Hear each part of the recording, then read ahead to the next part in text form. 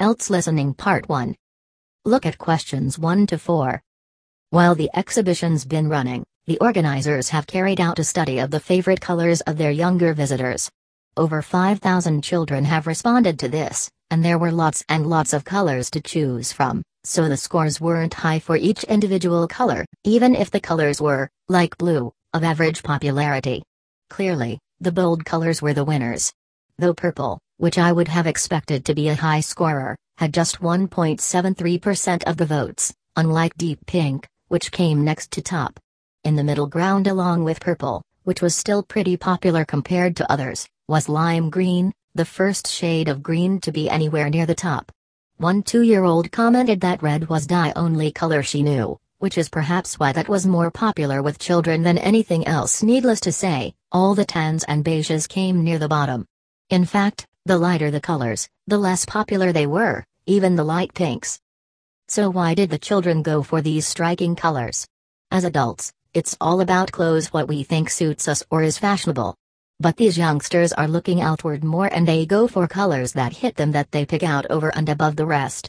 It's less to do with how they feel, whether it calms them down or whatever, and more about immediate impact.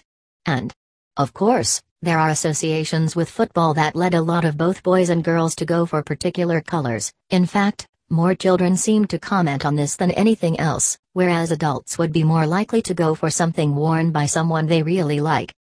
Now look at questions 5 to 10. American Idol appeared on TV for the first time in January 2002. At that time there were no reality TV shows. All TV channels showed movies or TV series. The people from the channel ABC wanted to do something different. They thought the audience was bored with regular TV shows. People did not want to watch shows with doctors, lawyers or policemen anymore. So, ABC came up with a new type of show. American Idol is a reality TV show. There are no real actors or actresses in it. The stars are ordinary people like you and me. The audience really identified with these stars. They felt very close to them. The show was an instant hit. It was very successful and popular from the beginning. ABC was very happy about it. Usually, a new show would cost a lot of money. The producers had to pay both the actors and the writers. But with American Idol it was not the case. These ordinary people did not have to be paid at all. They were happy just to be seen on TV. Besides the show didn't need any writers. The people on the show just sang and gave interviews. The idea behind American Idol is very simple. Three judges tour the country in search of the next music star. They travel all around America and listen to young people sing. Then they choose the best singers and bring them to Hollywood. Here, the contestants have to pass a few more singing tests. The best 12 people in the competition go on to the final round. They perform live on TV every Tuesday night. The judges give their opinion after each performance. But the audience gets to vote on who to keep in the competition. People can vote by phone or through text messaging. The singer with the lowest number of votes is eliminated each week. He has to leave the competition for good. The rest go on singing until two people remain. After the final night the most popular singer becomes the American Idol. So far, there have been four American Idols. They all sold a lot of records. But the most popular of all former idols is the first-time winner Kelly Clarkson. She is a rock and pop star and has won a Grammy Award for her latest album. Two of the other idols sing more jazz and soul music. Last year's idol was a country singer. American Idol is watched not only for singing part. The three judges also play an important role in the show. They argue a lot in front of the camera. Their opinions are always different. This makes the show so exciting. Randy Jackson is a successful record producer. He always acts very cool and relaxed. Paula Abdul is a famous dancer and singer. She is always sweet and has something good to say about the contestants. Simon Cowell, however, is very hard on the contestants. He always finds mistakes and criticizes a lot. He al Section 2. Listen to the tape and answer questions 11 to 20. Today we're pleased to have on the show Julia Bussell from the Dolphin Conservation Trust. Tell us about the trust, Julia. Well, obviously its purpose is to protect dolphins in seas all around the world. It tries to raise people's awareness of the problems these marine creatures are suffering because of pollution and other threats. It started 10 years ago and it's one of the fastest growing animal charities in the country, although it's still fairly small compared with the big players in animal protection. We are particularly proud of the work we do in education. Last year we visited a huge number of schools in different parts of the country, going around to talk to children and young people aged from 5 to 18. In fact, about 35% of our members are children. The charity uses its money to support campaigns, for example, for changes in fishing policy and so forth. It hopes soon to be able to employ its first full time biologist, with dolphin expertise, to monitor populations. Of course, many people give their services on a voluntary basis, and we now have volunteers working in observation, office work, and other things. I should also tell you about the award we won from the Charity Commission last year, for our work in education. Although it's not meant an enormous amount of money for us, it has made our activities even more widely publicized and understood. In the long term, it may not bring in extra members, but we're hoping it'll have this effect. Now I will tell why it is possible to see dolphins in UK waters. In several locations, it is possible. We have a big project in the east part of Scotland. This has long been a haven for dolphins because it has very little shipping. However, that may be about to change soon because oil companies want to increase exploration there. We're campaigning against this because, although there'll be a little pollution from oil, exploration creates a lot of underwater noise. I became interested in dolphin conservation in the first place because I came to know that dolphins can't rest and socialize. I had never seen one and I hadn't been particularly interested in them at school. Then I came across this story about a family of dolphins who had to leave their home in the Moray Firth because of the oil companies and about a child who campaigned to save them. I couldn't put the book down. I was hooked. Now I would like to tell the listeners about Adopt a Dolphin scheme. People can choose one of our dolphins to sponsor. They receive a picture of it and news updates. I'd like to tell you about four which are currently being adopted by our members Moondancer, Echo, Kiwi, and Samson. Unfortunately, Echo is being rather elusive this year and hasn't yet been sighted by our observers.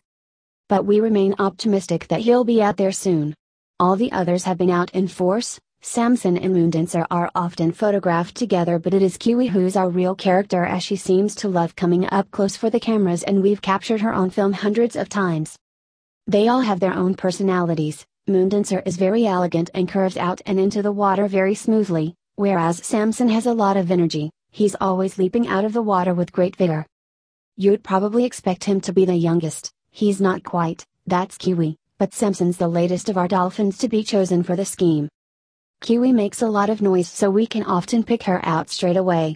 Echo and Moondancer are noisy too, but Moondancer's easy to find because she has a particularly large fin on her back, which makes her easy to identify.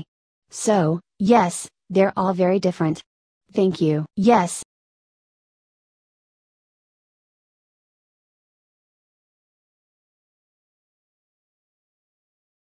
Part 3 now answer questions 21 to 27. And here are the prizes in the lottery. Has everybody got their tickets? Good. Well, the seventh prize is ticket number 115. 115. The sixth prize is number 1770. 1770. The fifth prize goes to ticket number 19, 19. Now, Let's see who'll win the fourth prize. MMMM. It looks like, yes, number 309. 309 is the lucky number? Now, we have three more prizes. Okay. The third prize goes to ticket number 59. 59. Right, and second prize goes to ticket number 1990 who has ticket number 1990 in second place. Finally, the first prize. The lucky first prize winner is ticket number 40. Number 40 wins the first prize. Now look at questions 28 to 30. This is the 6 o'clock news for Tuesday the 25th of November. And first the headlines. The Prime Minister has promised to help the drought-stricken farmers in the northern part of the country who haven't seen rain for nearly two years. And in Sydney a group of school children are successfully rescued from a plane which landed in the sea shortly after takeoff. Transport workers are on strike in Melbourne over a pay claim and the strike looks set to spread to other states. And on a fashionable note, there is to be a new look for the staff of Qantas, Australia's national airline. Part 4. Questions 31 to 40. You will hear a talk on local radio about a short film festival in the town of Adborne. Choose the correct answer A, B or C. Today we are pleased to have on the show Sandra Johnson who is the organizer of the Adborne Film Festival. Welcome, Sandra. Can you tell us a bit about the background to the festival and what it brings to the town? Well, the festival was started in 1996 by the then mayor of Adborne, Joanne Smith. She wasn't a filmmaker herself, she'd actually been a very energetic tourism development officer for many years, but Adborne had run a classical music festival which had been becoming less and less popular in recent years. Joanne was looking around for something to replace it and to use funds allocated to it to promote something which local people can enjoy. And about the festival nowadays. Well, it's held in the last two weeks of August every year and short films from all over the world are shown in three places, in the theatre and our two cinemas. Several films are shown in one performance and the whole thing lasts about 90 minutes. Tickets are very reasonably priced, under 12s used to get in for 50p but now we charge just £1 which is still very good value. £1.50 for students and £2.50 for everyone else. Performances are advertised all round town and also on our website www.adborneoffice.com.